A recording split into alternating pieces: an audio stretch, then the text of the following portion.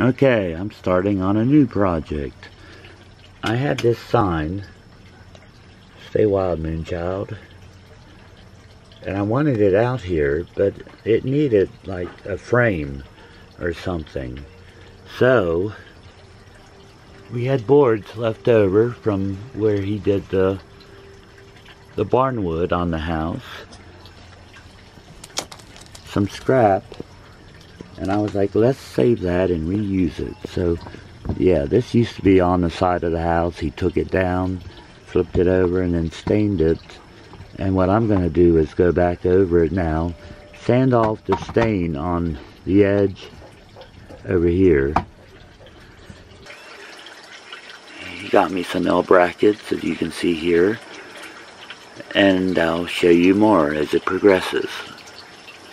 Alright, and here's what I got. I sanded them down.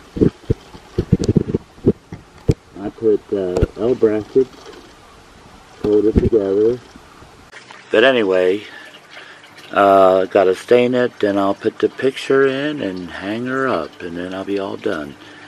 And I'll show you that as I uh, progress. Okay, now, now this is the reason why. I'm not hitting it. Oh, there's, there's midnight.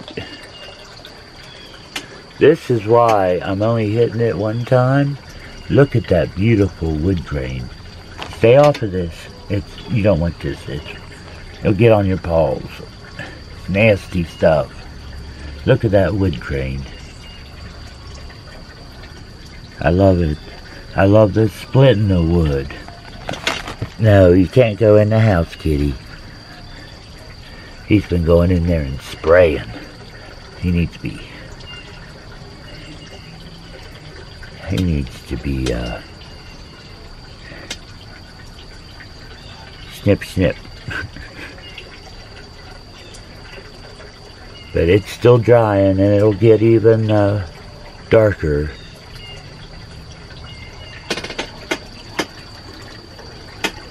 Because look how dark that turned out. Well, it's a little bit late now. The sun's starting to come out. And soon this will all be in the sun and it'll dry even faster. And I'll show you the finished product.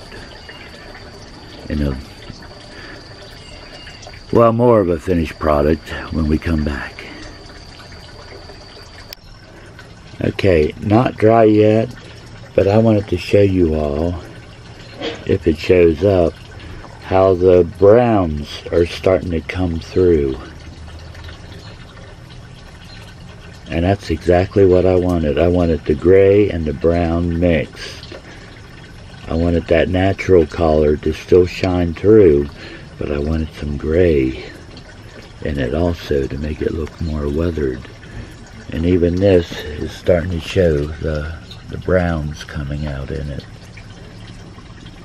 Let me get closer. And that's exactly what I wanted. The others not so much, but they're still more wet. These have been out in the sun longer and are just about dry.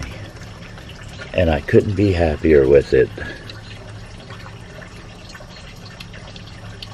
Okay, just want to show you the frame's all done and it's dry. And that's the collar I got.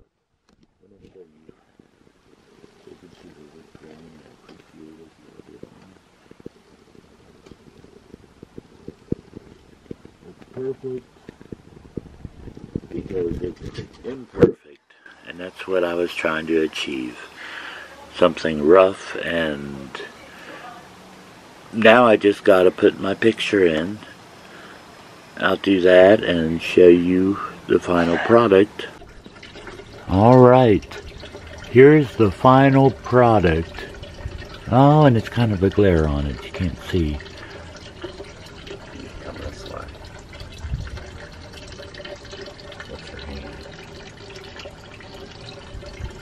But there it is. What do you think? I have it hung from the ceiling. What do you think? Someone came here and said she loved it and she said she could sell these for $50. I don't know. Heck, it was free. My favorite price.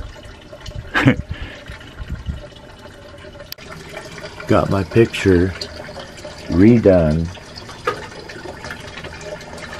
I took off the plastic that was covering it because I didn't like the way it was wrinkling up and making it hard to see.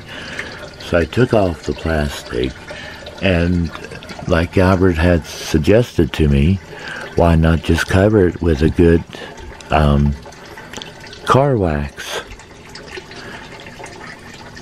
The type you buff on.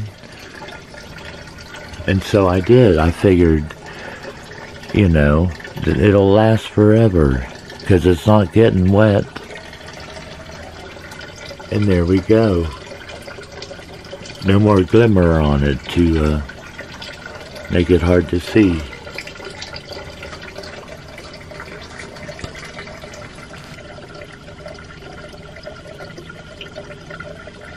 Homemade, except for the sign itself.